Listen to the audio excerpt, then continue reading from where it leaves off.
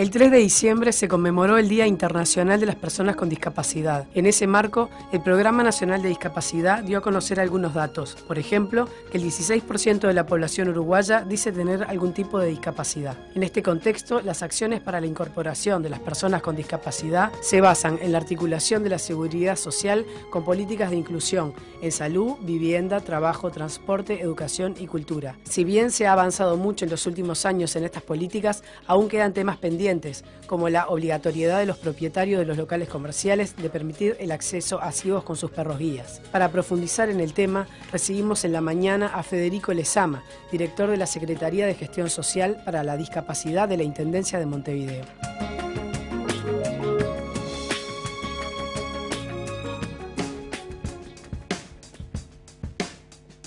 Le damos la bienvenida entonces a Federico Lezama. ¿Cómo estás? Buen día, un gusto estar con ustedes. Gracias por venir.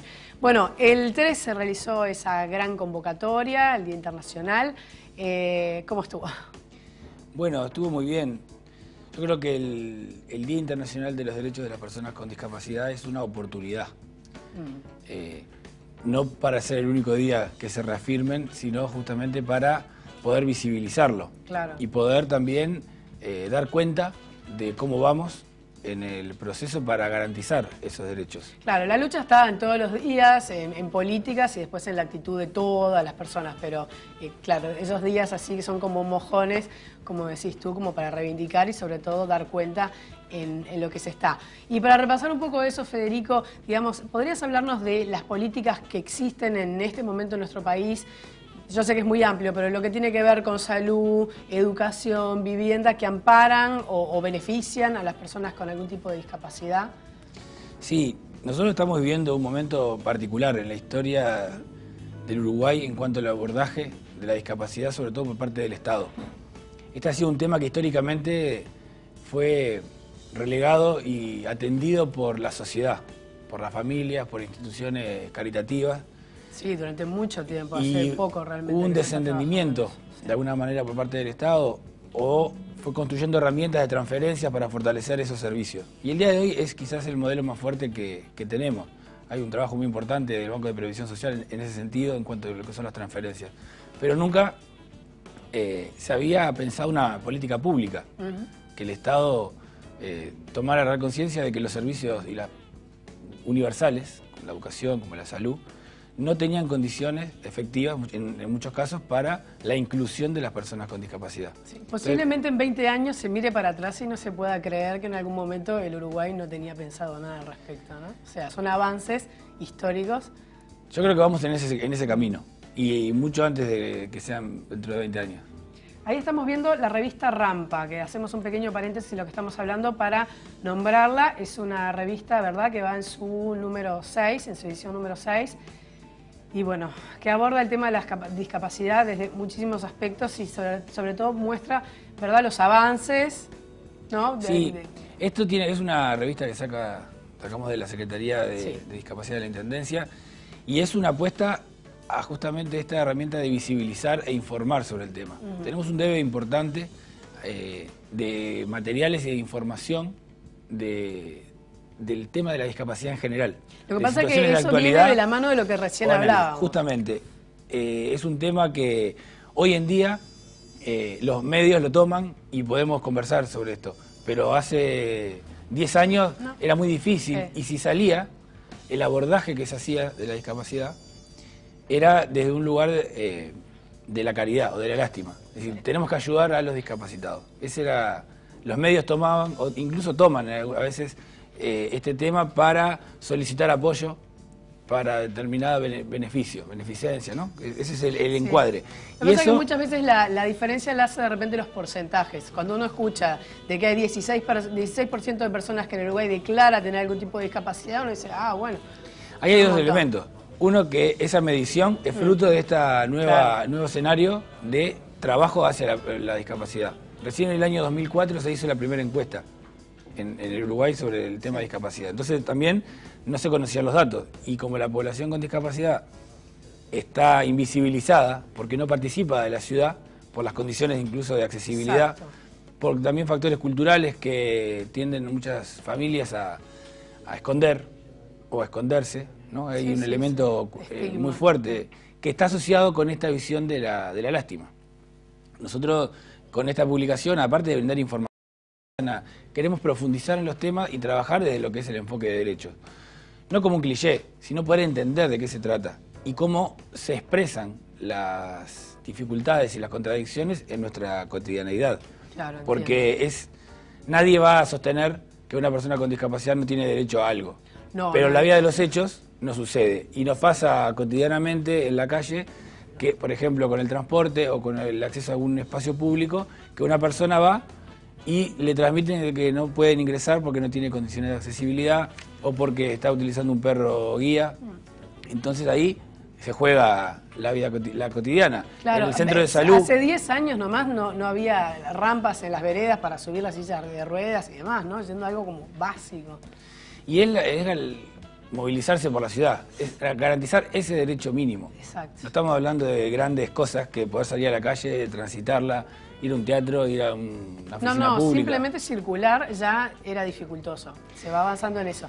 Ese es el escenario que tenemos. Sí. Y ¿Hay, igual hay algunas políticas concretas que podríamos como nombrar? Por ejemplo, hay un cupo dentro de los cargos públicos para personas con discapacidad, desde el punto de vista del Sistema Nacional de Salud, también este, ¿no? las, personas que tienen hijos con discapacidad no tienen cobertura hasta los 18 años, sino el, resto de su vida. Eh, se otorgan audífonos, se otorgan prótesis.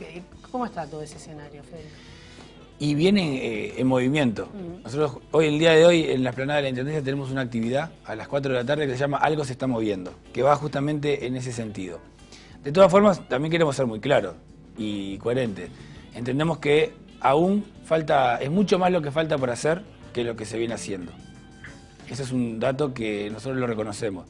Pero si vemos el tiempo en el cual se vienen realizando estas transformaciones que estaba eh, mencionando, y muchas otras, eh, la velocidad de los cambios es realmente algo que impacta, que llama la atención y hace también que el 3 de diciembre hubiera una, convocatoria muy grande, porque las personas también están comenzando a creer en que es posible eh, un cambio efectivo.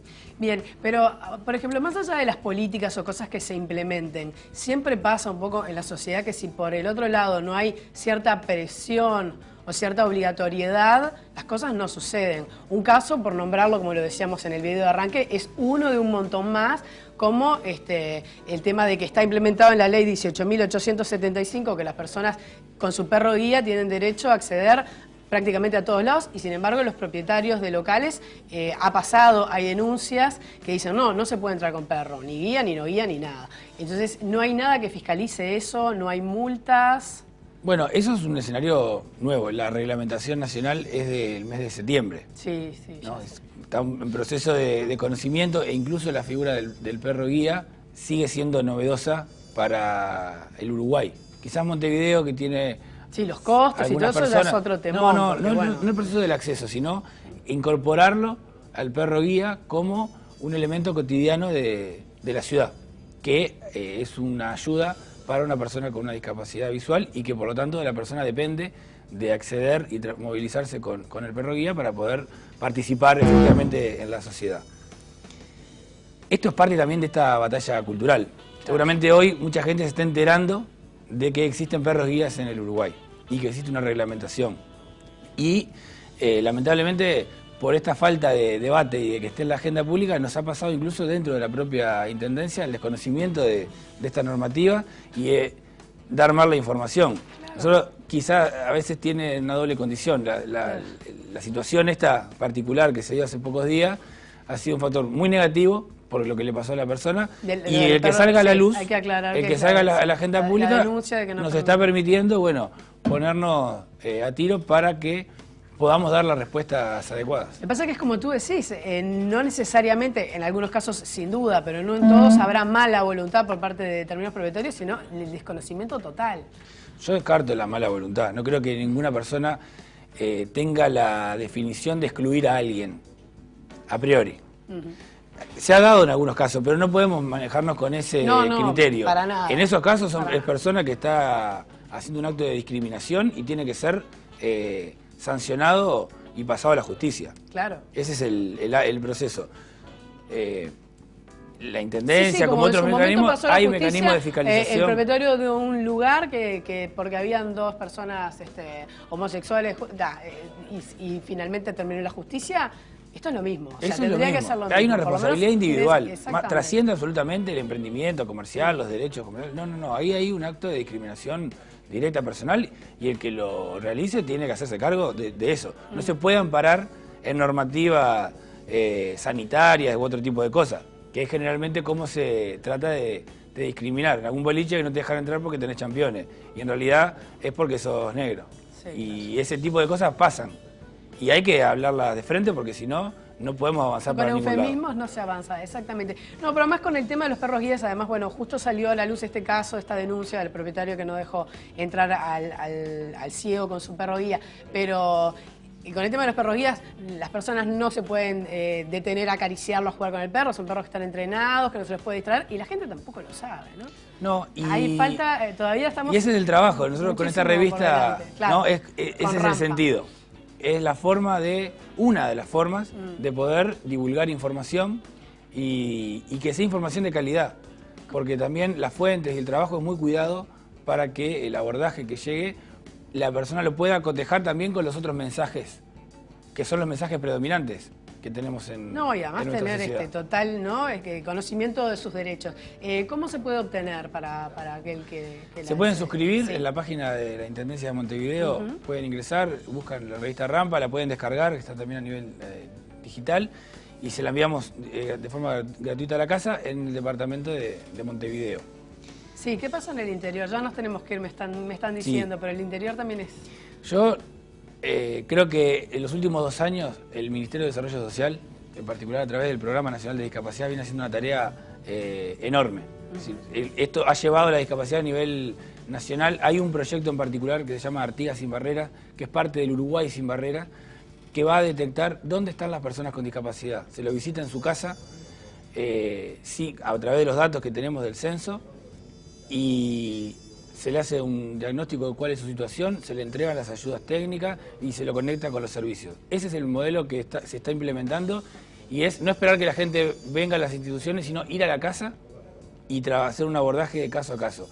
Eso es un cambio radical de, paradigma. En todo el interior. En todo el país. como llama Artigas, el, proyecto para aclarar que fue, fue el comienzo y yo quisiera cerrar porque el 3 de diciembre se hizo un anuncio muy importante que es la reglamentación, parte de la reglamentación 18.651, que es el, anuncio del programa de asistentes personales.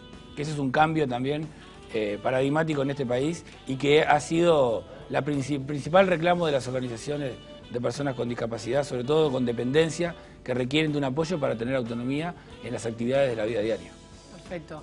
Federico Lezama, muchas gracias por haber estado aquí. ¿eh? Gracias a ustedes y a la suerte.